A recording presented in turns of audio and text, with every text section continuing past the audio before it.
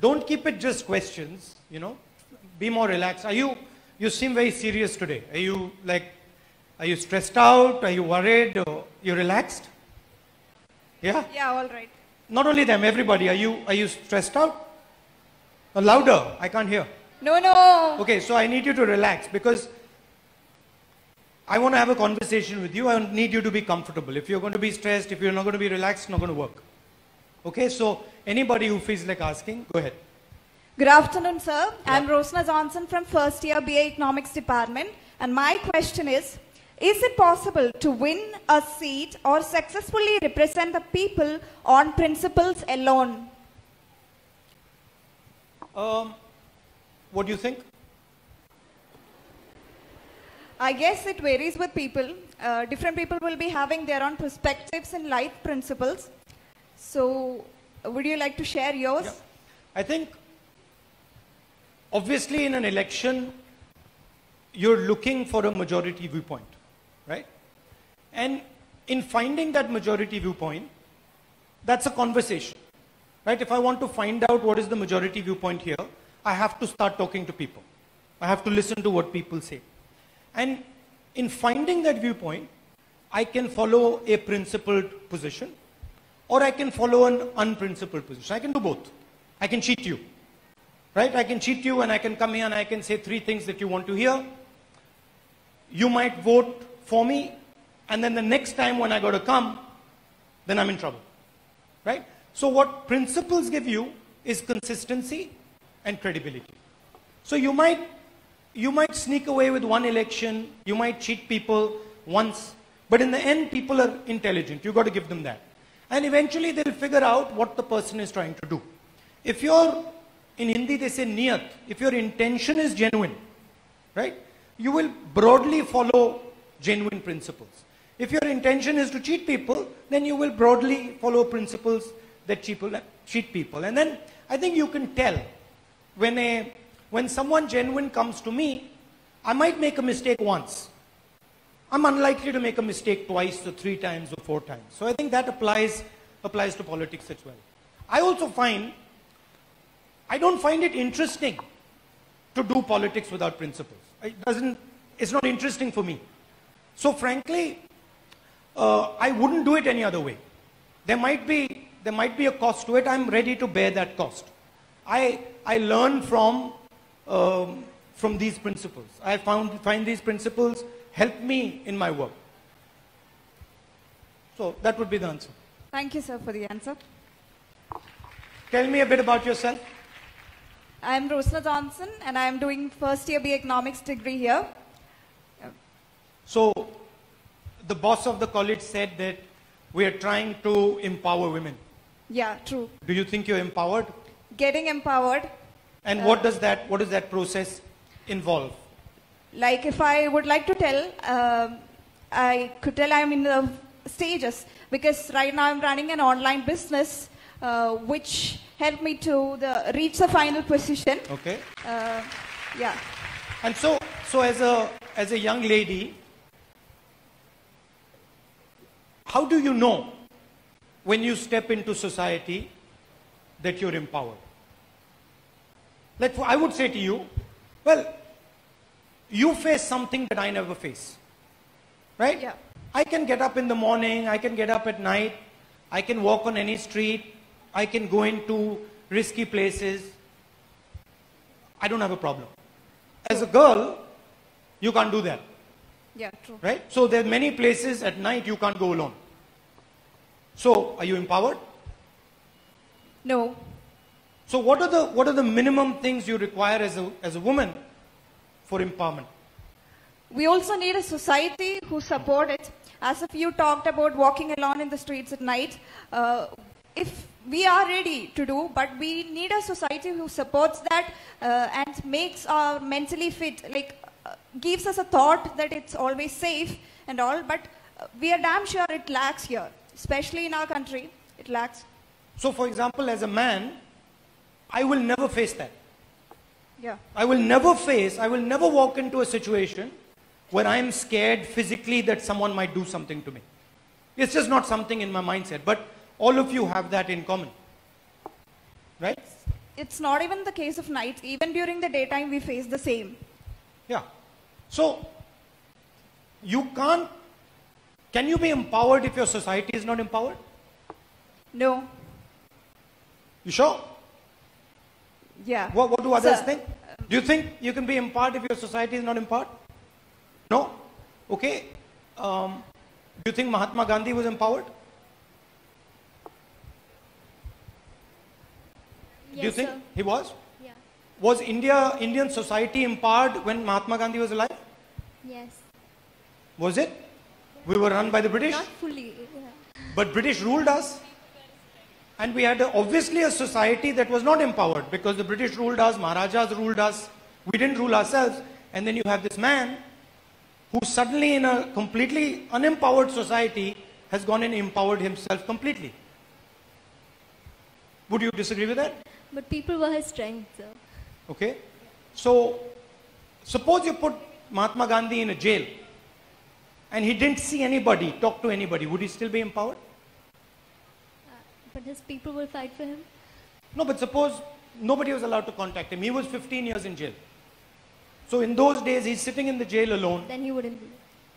Wouldn't he be? What do you think? No? No.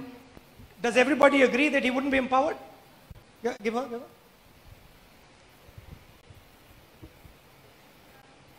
I feel like uh, empowerment is individually like Okay. um, just because he's in jail, physically he's in jail, it doesn't mean that he mentally need, is not empowered. Okay. That's why he became the father of nation because he was he had the strength in himself. He believed in himself. So physically, even if he's in jail, I feel like he'll be mentally empowered. Okay. Because obviously he showed it. After he came out, he did a lot of things. So that Yeah. means obviously he was empowered during the. It didn't. That time he spent didn't let he didn't uh, let that bring him down. He Right. continued to fight. But then, see, both of you are right. There must have been moments yeah, there when Mahatma. Gandhi inside couldn't deal with it anymore. after And he said, now I can't deal with it. So then he was disempowered. But you can't be sure because I haven't actually met him. It's just my Hmm. opinion. Yeah. I believe that this is what happened, but like, So what do you need for empowerment then? confidence. Okay. Anyone else? People to believe in you because those years he spent in jail, he, he must have lost his relevance in the country. But then it was because of the people who believed in his actions and what were his vision that when he came back, he could be as strong as he was once before. So Hmm. I think the society and the people who follow him played a huge role. So people play a big role. Yeah, they do. What if you're, what, what do you do? What do you do well? I write. You write. What if you wrote really, really well? And you were absolutely convinced that you were an excellent writer. But everyone said you're useless. I guess that depends on that person's mental capa- capability because um, I believe that I have a strength of my own. But if people kept bashing me down again and again, I I'm not sure. I've never been in that position, but it's not something a lot of people can overcome. So it depends on the person, a person's strength, and uh, through that vision, but then also how he empowers the people around him or her. But if you were convinced, if you practiced writing every day, and you've been writing for 10, 15, 20 years, and you were convinced that what you were saying and what you were writing was good, and everybody else said it's not, If my passion in it is that strong, then Right. I believe nothing can stop me. Exactly. So, point I'm trying to make is empowerment. You can sit, you can relax. Point I'm trying to make is empowerment comes from inside. It doesn't come from outside. It is when you believe in yourself that you start to become empowered. When you falsely believe in yourself, you become arrogant. This is a different thing. Arrogance is not empowerment. Empowerment is correct belief. If she was a useless writer and she was convinced she was a good writer, right? And she didn't do any work to be a good writer, then she's not empowered, then she's arrogant. So that's to me the difference. I like that written over there. Yeah? The fear of the Lord is the beginning of wisdom. So what that is saying is wisdom begins when you're humble. So if you're accurate, if you're humble and you're observing carefully, that's the first starting point of wisdom. And from wisdom comes empowerment. Do you, do you agree with that or? No? Yes? Go on. Thank you, sir. Thank you. Can we have the next question now?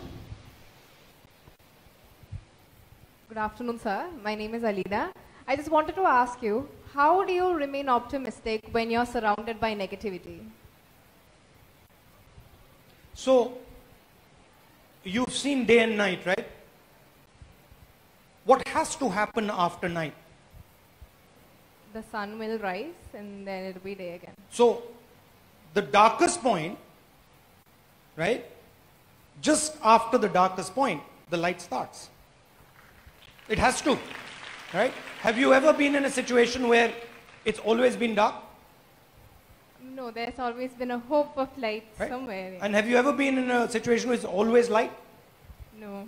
No. So these are cycles, right? So when you, you'll have a tough time in your life, you'll have a difficult time in your life, learn from that time. That time will pass, and then you will get a better time. So it's not, uh, it's, it's cyclical. Thank you, sir. Can we have the next question now?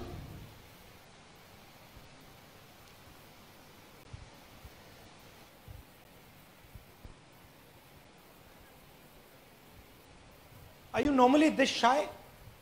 Like you're always quiet? Is that the teachers tell you to keep quiet? Or how does, you're always silent like this? Huh? Sir, um, I need to ask a question or your suggestion or your idea about this. Like we have India's uh, research and development budget. Also, we have the defense budget of India. The Defense budget. defense budget. There is a huge disparity between these two. Because actually, according to Nehru, it is research what runs the country. But currently, the uh, scenario is such that about 58 percentage is going to the defense. Yeah. So what if, I'm not uh, speaking of an utopian condition, but what if, we try our utmost to solve the issues happening on the borders in Pakistan, in China, and uh, not try to inflame the patriotic feelings using the border issues and then garnering more votes. So would we have a better future? Like we will have more research and development budget coming on. So what is your suggestion or practical ideas regarding that? See, we are living in a in a time where things are dangerous on the international sphere and it's an extremely competitive environment right? So you cannot ignore defense. But what you can do is you can be more efficient. So if your policies are intelligent and you're being clever smart about it, then you can spend much less than if you're not being clever about it. If you're, if you're looking at defense and you're looking at foreign policy, you, if you have a strategy that is, that is balancing people, that is playing to your strengths, then you will require one level of defense expenditure. If you are playing to your weaknesses, then you will require a completely different defense expenditure. To me, India's strength it's, is its diversity, the difference. It would not be interesting for me to come here and speak to you if you were all the same. It would be boring. I'd ask one question, you'd, you'd ask one question, I'd say, thank you, I'm leaving. Right? But for me, this is interesting because you're all coming from different places, you all have different ideas. So bringing this stuff together is what I consider to be India's strength. And we have, for thousands of years, the ability to bring these different ideas together. So, my complaint is that we are not doing enough to bring all these ideas together. If we bring these ideas together properly, we respect each other, we carry each other, we will not require um, as much sort of defense expenditure uh, our economy will be better, we will produce more jobs. The whole thing is connected.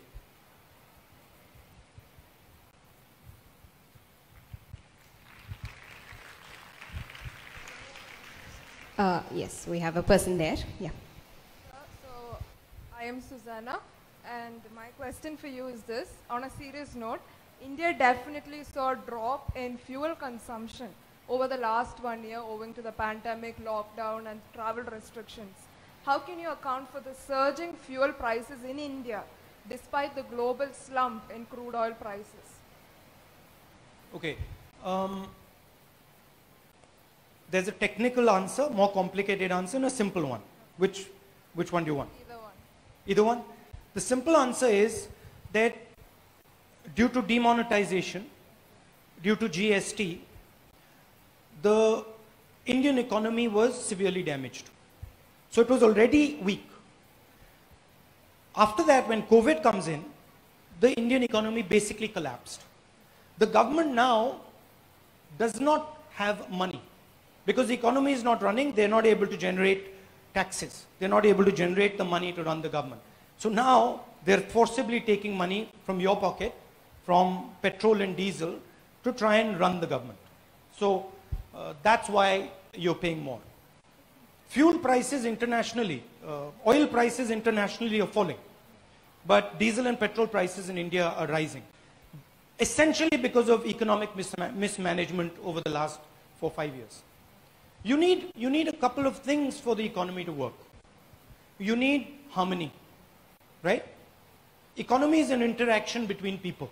If there was disharmony in this room, everyone was fighting, then the interaction between people would reduce. So you need harmony, you need peace and quiet, and then you need a strategy. And so that's where we're running into a problem.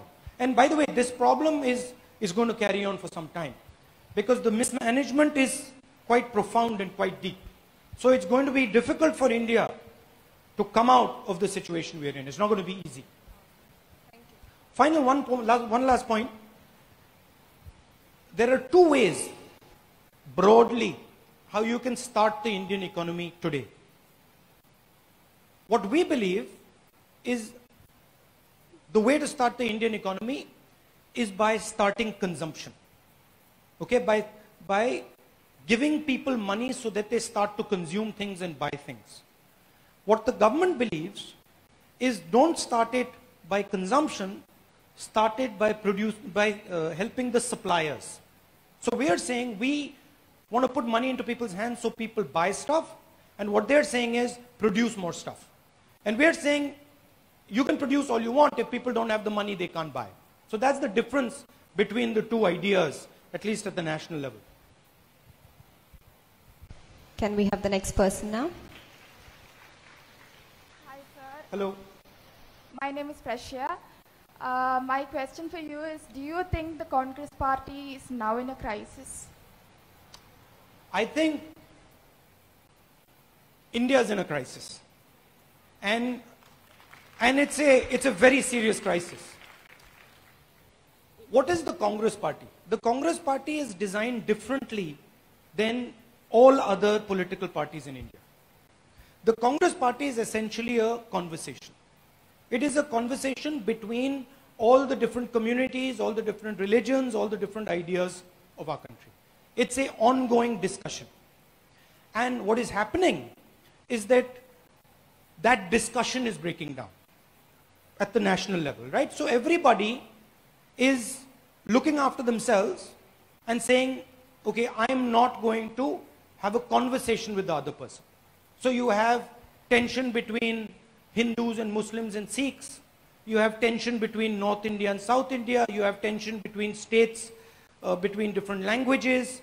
So that, that is the glue of our country. And that conversation is what the Congress party is about. The Congress party gets into trouble when the conversation stops. When, when different people in India stop talking to each other, that is our, how to speak, that's our DNA, that's our blood. So when everybody stops talking, we have a problem. So our job is to start the conversation between people again.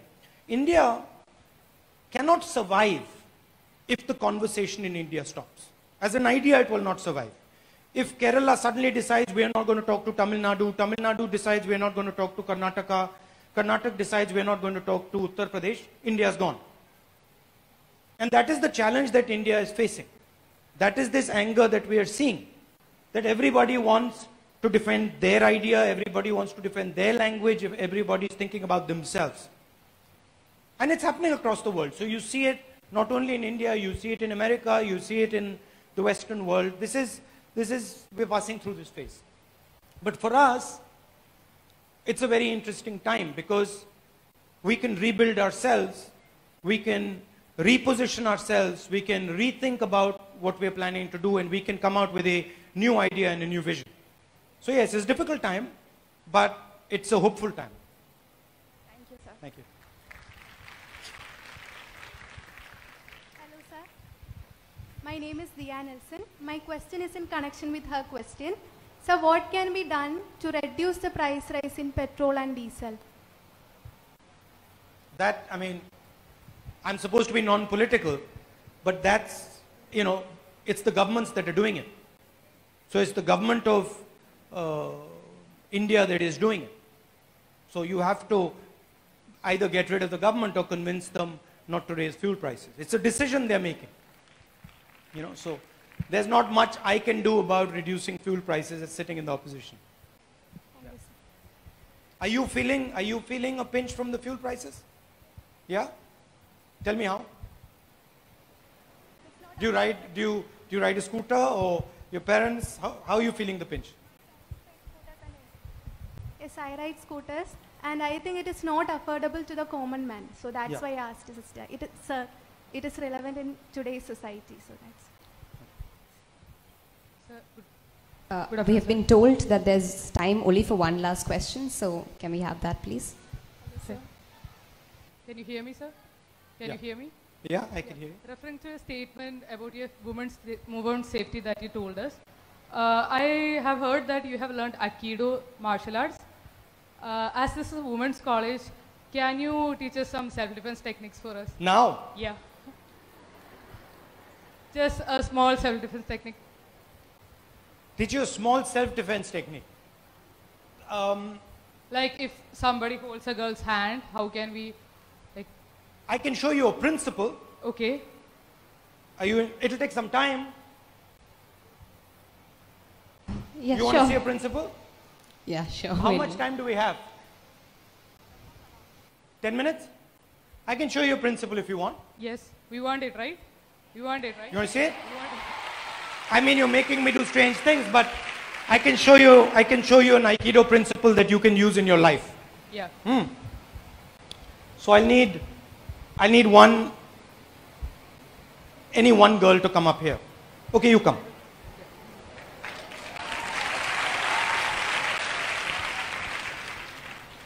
Okay, um, I'll need another, one more girl right now. Okay, so I'm gonna, I'm gonna ask you to do something. Take off your shoes. Okay. Sit. It's okay, I can touch shoes, it's not a problem. Sit, sit down. Okay, what I want you to do is I want you to sit down like this. Yeah. I want you to put your feet flat and open them. And then I want you to do this. Okay? Now, come. Now, she's going to push you. She's going to push you. वे थोड़ा पीछे हो जाएंगे she's going to push you. Okay?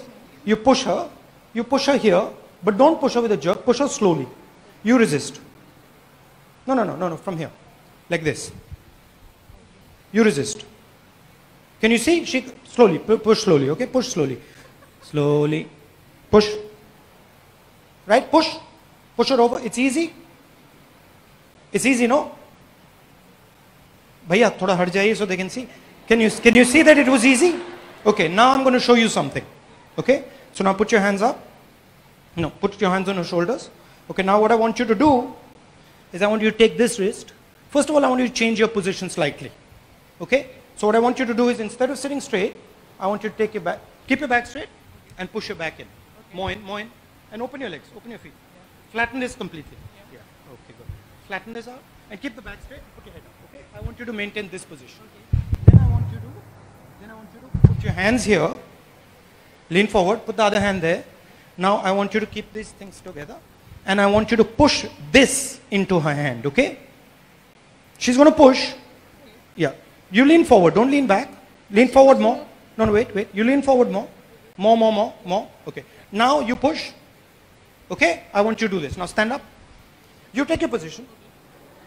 Open. Okay. Remember what I'm saying. Your back has to come down and then you have to use this. Okay? Now can I have three more students? Three, four. Come. I'm going to show you the Congress party now.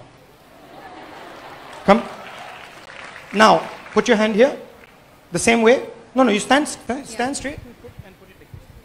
Okay, go on. Okay, one second. You do what I told you. Lean forward, lean forward. You go back a bit so you can push properly. Lean forward, look up. Now, all I want you to do, remember, hold on. All I want, no, no, relax, hold it. All I want you to do is, when she's pushing, ah. she's pushing here, you leave this hand open. Open. Right? Yeah. Put your head up. Yeah. Put your head up. And when she pushes, ah. lift this to the sky. No, no, no, slowly. Not very slowly. Okay. Push. You lift to the sky. No, no. Look, leave- put your back straight. Put your back straight. Back straight. No, back, back in. This way. Okay. Yeah, more, more, Yeah. and open your legs. Okay. Open your fully. Yeah. Okay, good. Stand up. Now you put your put your put your hand on your, on her thing. Yeah. Lean forward. Look up.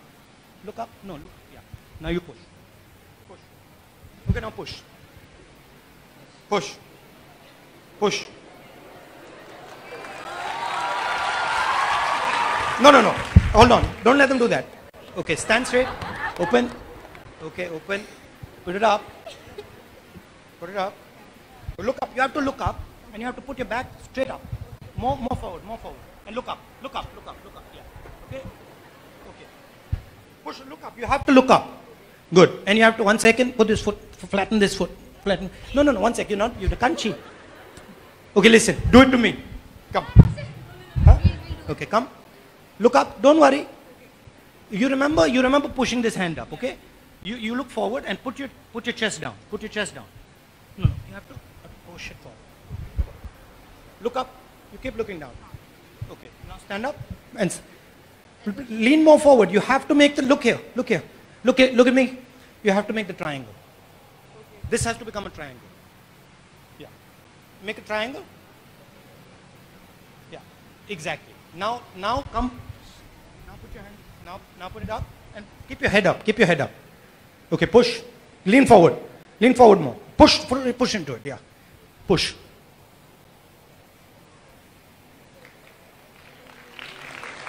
Push. Push.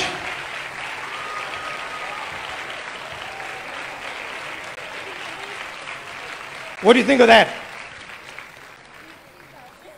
She's not tough. She no no she's not. She's not. She's not. She is using your strength.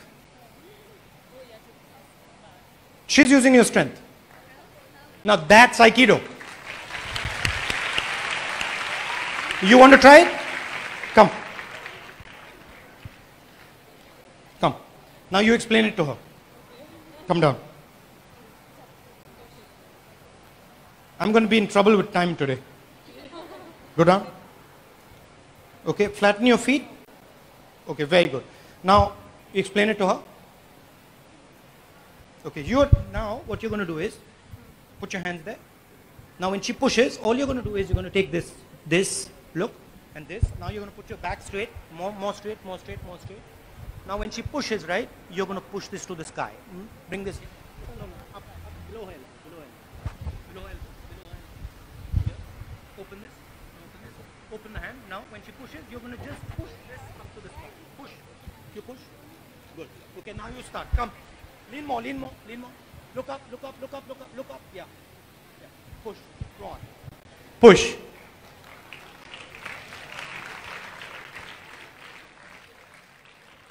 See what's going on? This is an empowered woman. So, you can show your friends how it works, okay? Okay. Thank you. Did you like that? Yes. Okay. Thank you, girls. Who Thank asked you, me? sir. You asked me. Who asked me for the principal? You did. Huh.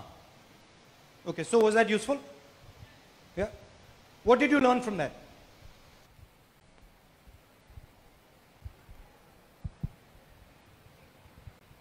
Uh, I think, First, explain what happened. First, when she was pushing you, yeah, you had no balance. Then after that, you got a balance. Correct? yes. And then what would happen when she kept? The more she pushed, what happened to you? I got more strength to resist because my resistance increases as she pushes. Right. So, and how did that work? Like, how did you did you feel it? Yes, I could. Right. So what we did was we connected her to them. Yeah, And then any strength they applied, she was taking it from them. yeah. They didn't know, but she was using their strength against them. As the opposition increases, my resistance increases. Exactly. So, so that's a principle in life. You all have huge amount of strength inside you as long as you're positioning yourself properly. If you're badly positioned, if your stance is weak or if you're if you're distracted, then it's gone.